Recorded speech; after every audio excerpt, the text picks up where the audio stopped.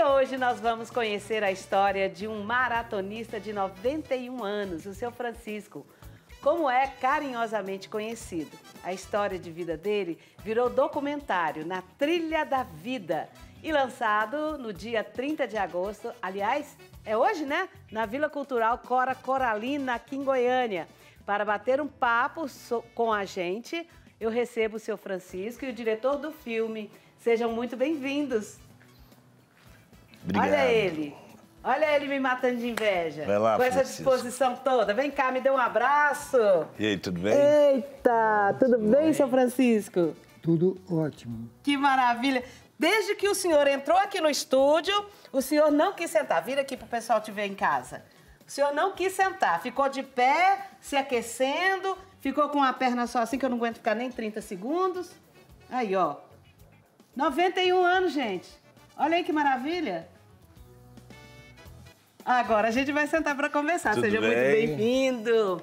Que bom Obrigado, ter você aqui em obrigado, casa. obrigado. Então senta aqui, seu Francisco. Chega mais pra cá. Seu Francisco senta aqui no cantinho, seu Francisco. Agora o senhor vai sentar. É, agora o senhor vai ter que sentar. É, vamos bater um Tomar uma papinho. água. Chega um pouquinho mais pra lá. Aí. Eu sou obediente. Pois é, seu Francisco. Quer dizer que tem quanto tempo que o senhor tá, tá fazendo maratonas? Tem 16 anos. A primeira maratona foi dia 11 de maio de 2008. E antes o que, que o senhor fazia? Eu trabalhei em tantas coisas, até juntando lixo na rua, eu ajuntei. E jogava uma bolazinha e aí deu para mim encaminhar no, no jogo da bola. Eu ganhei o, a, pro time e o dono do time me deu uma- um tênis, uma meia e uma inscrição e mandou para mim correr. E eu fui correr e ganhei. Então quer dizer que a, a- a corrida veio dessa do futebol? Veio. Porque futebol É, o corre futebol- muito dentro de campo. futebol corre. eu tava- o time estava perdendo de 2 a 0 e com um jogador a menos. Nossa. Digo, eu vou entrar aí, eu vou entrar de médio volante, porque de médio volante não vai passar ninguém. E vocês têm que fazer. Mas aí eles não aguentaram e eu tive que fazer sozinho, com a ajuda de Deus. Foi aí que você olhou essa história e falou: aqui tem história. Você vê, 91 anos de idade. Eu nunca ouvi essa história. Mas o já, motivo. ouvi, já ouvi várias. Essa do futebol eu não, não conhecia. É, o- mas é o- é o começo de tudo, No né? começo, é, tá me perguntando como foi que começou, aí eu tenho que dizer como começou. Aham. Eu achei que tinha começado lá nos passarinhos, lá no seu pai lá. Mas aí a, a história do livro é uma e a história da maratona é outra. Ah, O que, que tem? Que passarinho é esse? O passarinho é que meu pai não queria que eu corresse de jeito nenhum. Aí ele furou uma lata e amarrou uma corda e me deu dois palitos, mas eu gritava o dia todinho, eu gritando os passarinhos, ei, co, ei, co, ei, co, e, o- e a lata estava batendo. Mas aí chegou a minha época de eu sair de dentro de casa, 17 anos. Aí arrumei uma namorada e a namorada me deu um filho. Nove meses e três dias ela me deu o primeiro filho. Aí eu digo, tem que mudar, tem que mudar. E mudei, graças a Deus.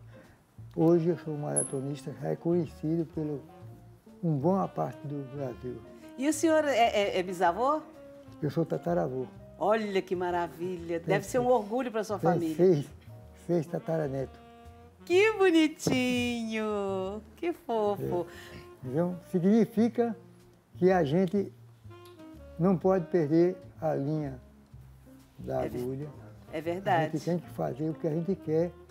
Crê em Deus e confie em Deus, porque Deus é dono de tudo. E tudo que você quer fazer, botou a fé em Deus, Deus, Ele faz acontecer. Você viu aí a, a conversa que eu tive com os meninos? Tem fé também no meio. Com, com certeza. Se não tiver fé, é impossível agradar a Deus. Ô, ô Rai, agora me conta. Como é que foi essa sua história? O que que, como é que você chegou até ele? eu pedalo, né? E moro ali perto do Areião. Uhum. E tava andando de bicicleta no sábado e vi esse cidadão desse jeito, correndo. Uhum. Falei, gente, será que ele está disputando alguma maratona? Uhum. E peguei a bicicleta, voltei, tem um, um outro amigo que é o Caleb, que já conhecia ele. Falou, Rai, você conhece o seu Francisco? Eu falei, não. Falou, seu Francisco é um maratonista, tem 90 anos, você tinha 90 naquela É, época. E corre o Brasil inteiro, né? Faz maratona no Brasil inteiro. Aí eu desci da bicicleta, fomos bater um papo. Aí eu perguntei, o senhor tem algum documentário sobre sua vida? Ele falou, não. Eu falei, vamos produzir um documentário? e aí fomos fazer um piloto, né? Fizemos a entrevista, fizemos o projeto de lei para a Lei Paulo Gustavo, Aham. né? Envolvemos uma equipe maior de pessoas que elaboram projetos, né? A roteirista, que é a Carla Radi, que pegou desde o início o seu Francisco também, para criar um roteiro para a gente contar a história de vida dele. Porque ele conta e o que ele, que ele nos contou é que quando ele era criança, eu- ele queria correr, você viu aqui dentro do estúdio, ele não para um minuto. Uhum. Não parou um minuto. né? E o pai queria que ele espantasse os passarinhos dos arroz, das coisas que, né? Então botava Uhum. ele morava na roça. na roça, no interior do Pernambuco. Bota uma lata nele aqui para ele ficar batendo e espantando os passarinhos. Uhum. E ele canta até hoje, né? Que ele ficava cantando nessa época. Para fugir dessa história toda, ele completa 17 anos, casa, conhece uma menina, vai para São Paulo, tem 10 filhos em 10 anos, certo? E a partir Maratonista desse- mesmo, hein? De responsa. Depois disso, ele cria esses 10 filhos. Quando o mais novo completou 18 anos, ele vem embora para escolher um local e o local foi Goiânia. Aí que ele começa a correr. Entendeu? Que legal. Eu fico imaginando, ô, Raimundo, que você deve ter, a hora que desceu da sua bicicleta, você já foi com a sua. Já, meu. Com, o seu de enquadramento. Eu imaginei isso. Estilo Saulo Cândido. Isso, exatamente. Já foi, já foi imaginando tudo, né? É desse Falei, jeito. Que que é isso, né? E, e- e vai lançar amanhã. Vamos lançar hoje. Ah, é hoje? Hoje? Hoje, hoje dia 30. Gente, hoje é dia 30, eu tô perdida no é, tempo. na Vila Cultural, no... Cora Coralina. É, Cora- na Vila Cu- Cu- Cultural Cora Coralina, anexo ao Teatro Goiânia, Uhum. às 16h30. Às 18. E, e- e- Às 18h30, desculpa, tá vendo? Ele tem que me corrigir. Tá? A, o- o- a memória é com ele, não é comigo. é mesmo? Não teve Covid? Eu? É. O que, que é isso? Boa resposta. Pois é. E, e, e, e- e da onde que vem essa energia, hein? O que Deus quer, Ele conserva. E o senhor come direitinho, toma água? Eu como fruta e é o suficiente para me viver. A alimentação dele é só fruta. Só fruta? Ué, aprendeu com os passarinhos que você tinha que, que Isso, espantar? os passarinhos que eu espantava eles, ele me, me colocou para aprender a comer com eles. Que bonitinho! Tá ali dentro do meu carro ali, duas dúzias de banana, que eu parei pra almoçar com ele, foi um açaí Ah, e duas dúzias de banana. Tá lá. gente, aí te dá energia suficiente para fazer a sua corrida. Aí tem- eu tenho que ficar às 24 horas ligado. Oito é para fazer X, outro é para fazer migal e outro é para resolver. Então é- são 24 horas no dia e a gente tem que dividir em três. Esses três é para ser bem aplicado. Porque se você não souber distribuir, se perde no tempo. Que legal, boa, boa, boa tática. Agora me conta aqui, já fumou, já bebeu, Graças a Deus, nunca e nem nunca vai acontecer isso. tá vendo, gente? É, o- é É, outra, outra- outra vitalidade. Olha lá, ó, a preparação dele, fazendo um cafezinho. Café você toma. Aquela é a esposa. Não é café, não. Aquela é namorada, né, seu Francisco? Vocês fizeram um pacto, como é que foi? Conta aí a, É. a história da sua A- companheira. A, dona. Tem uma dona que nós tivemos uma, uma vida, uma luta, porque quando eu comecei a namorar com ela, eu falei para ela, digo, Luzia, você gosta de dinheiro mesmo? Ela disse, "É, eu gosto. Eu digo, eu vou te dar um pé de dinheiro. E aí ficou seis anos, depois de seis anos, eu comecei a fazer, comprar o material para fazer a casa para ela. Fiz a casa para ela, entreguei para ela e aí estou na vida, estou na luta para vencer. E ela mora onde? Ela mora na Vila Pedroso. Ah, aqui em Goiânia. É. E esses filhos, esses dez filhos, são todos vivos? São tudo criados. São todo mundo criadão, todo mundo na boa. Porque eu fiz, o que eu fiz lá, 57 anos lá em São Paulo, eu deixei para eles. Eu não quero nada daqui. Ah, então quer dizer que a- a- essa família ficou lá em São Paulo. O senhor veio É, aqui e constituiu outra família. Aí, aqui, eu... O senhor saiu para correr? Comecei, comecei a... Comecei a porque a, a- a tal de convívio levou a mãe de uma criança. E eu estou segurando a criança até ela passar de maior. Inclusive, eu fiz o voto de fazer para 100 crianças, 100 maratona.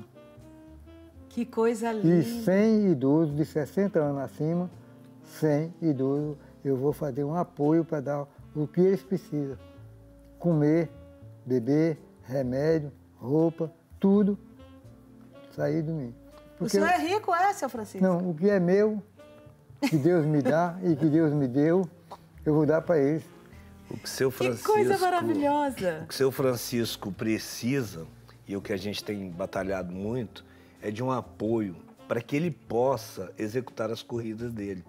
Porque tudo, todas as viagens ele que paga, ele que banca, e ele não tem apoio de ninguém, e passa de inúmeras dificuldades. Eu imagino. Com certeza, Então- com certeza você vê, se uma meta de 100 maratona para uma parte e 100 maratona, normalmente, para as crianças. Quer dizer que tanto a criança que Deus ama, as crianças, como os idosos. Sim. Os idosos estão morrendo de fome porque não tem o apoio, porque não tem o trabalho para eles, porque depois de 50 anos já não tem mais emprego para eles. Não tem E eles- apoio e e eles tem- estão morrendo de fome. E tem uma solidão, né? É. Muito. E agora eu gostei foi do cabelo, viu, seu Francisco? Achei moderninho. Achei massa. E aí eu tô, fazendo uma, uma condições. Olha lá, olha lá, ele mesmo que arruma. 150, 155 maratona eu já fiz. Para 200 está faltando 45. E eu vou buscar, de um em um eu vou buscar. Pois é, Porque mas tanto o médico como a médica me proibiu de eu correr três maratonas no, no mês. E eu estava fazendo isso. Três maratonas por mês. e como é que tá o coração? Eu não tenho isso. Eu não tenho essa coisa, não. Não tem nada no coração? Não, eu não tenho coração. Não existe coração. Como assim não existe, coração? existe uma pedra rocha. É para aguentar tudo e passar tudo. E fazer tudo. O senhor que fala isso, e o amor que o senhor tem em Deus, esse, esse seu carinho que o senhor tem Pois, por criança, esse- pelo esse idoso, é o amor, isso aí é- amolece seu Esse coração. não, é, esse não é coração, é o amor. O amor é, é a coisa. Ele sabe muito bem dividir as Sabe. coisas. Você colocou tudo isso no filme? Tudo, tudo, tem tudo isso. Tem, o- tem o Francisco de ponta a ponta, né, Francisco? De ponta a ponta, eu tenho é, seis maratonas internacional. Ele não sabe. Ele não anotou, mas ele sabe. Foi Argentina, Paraguai, Uruguai, Las Vegas, Nova York e Peru. Você vai ter que assistir o filme pra você lembrar. É verdade. Mas como é que foi? Aí depois que você já foi com o seu dedinho lá, fez todas as cenas que você já imaginou na primeira conversa com ele, aí você chamou uma roteirista para contar. Sim, aí nós temos a equipe, né? Tem os meninos da, da IP, que é- são projetistas, né? Fazem projetos, que é o João e a Bruna. Tem a Carla Radi, que é a roteirista. Né? Aí tem a equipe, o câmera, que é o, o Vitor, enfim, faz o, o pessoal de produção. E aí nós fomos, eu chamei ele pra gente gravar um piloto. né? Certo. Foi eu, a Carla e o Alexandre, fomos lá para o Areião, gravamos um piloto com ele. Aí, a partir desse piloto, a Carla montou o roteiro, né? Porque documentário, eu como documentarista, eu, o roteiro é ele, né? Então eu faço essa adaptação. Mas a Carlinha já fez um roteiro que ficou bem bacana, da gente chegando na casa Ah, eu quero dele, ver. né? Então, assim, conhecendo a Dona Luzia, essa história que ele conta, né? Desse Hum. namoro de 17 anos Pois é. né? Como é que ele começou. E aí tem, tem todo esse preparo, né? Assim, a gente acaba convivendo um mês com a pessoa. Isso virou uma família, porque todo dia de manhã ele me liga, é, sete horas da manhã, se eu não atendo, ele liga assim, até umas dez vezes. À noite também, né? Então agora eu começo a fazer um outro documentário, que é um longa. Ele já tá falando, me Aí já é abandonou, longa, já. me abandonou por outra pessoa, que não sei o quê. Eu falei, "Ah, mas é francês, ô, né?" ô, ô, ô, ô, Rai, eu quero saber o que, que você aprendeu com o seu Francisco, mas não é agora não. Eu quero que esses meninos cantem algum pedacinho de uma música pra gente, qualquer uma que vocês tiverem inspiração nessa nossa conversa, porque a gente tá indo pro intervalo. E já já eu volto e eu espero você aqui em casa.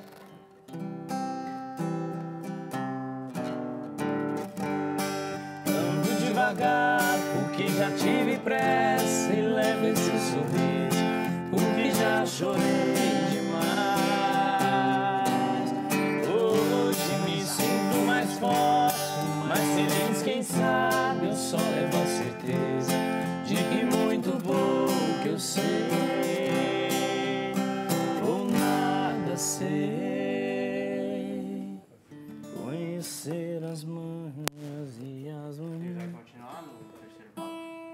Não vai na- dar, não?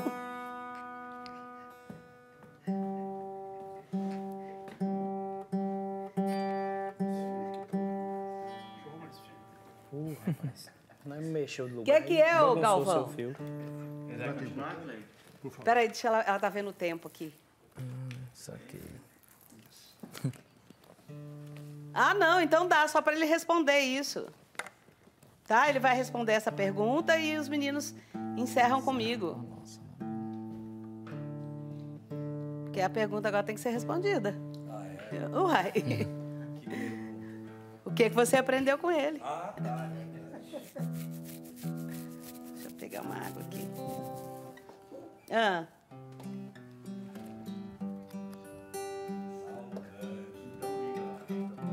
Tá. Ok.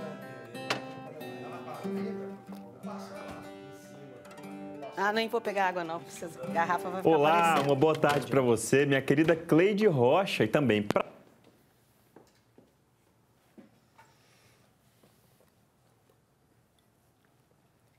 Você ganha pouco, mas diverte, né? Bom, é isso.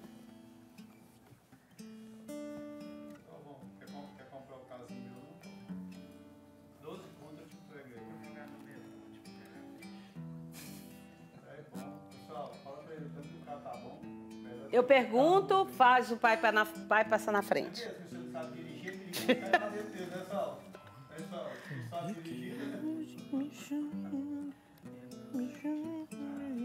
O quê? Ah, então tá. Beleza.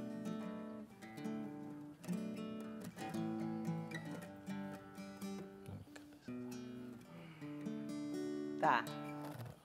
Tem gente tá contando os dedos das férias, Graças a Deus. Tô de férias.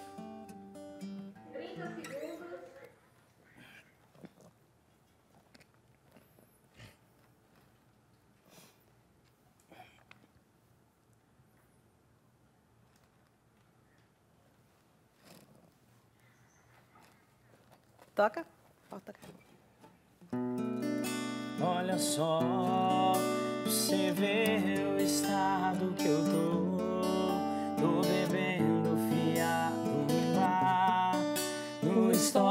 que ela postou. Nem deu pra ver onde é que ela tá. Quem me vê conversando sozinho, deixa a boca pra me criticar. Mas não sabe